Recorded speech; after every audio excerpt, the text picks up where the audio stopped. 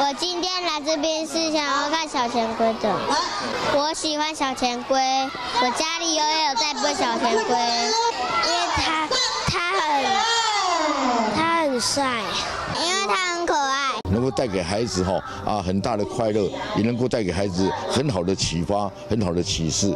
我想从由由这种活动开始哈啊，把这个啊我把一这个小乾坤，我们把弟子规它推展出去。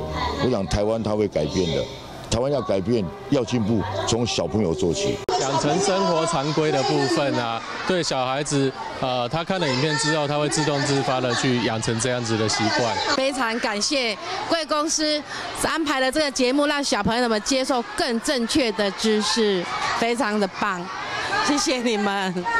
我们得知这个以后呢，我们就马上买了三套的，然后给我们小朋友使用这样子。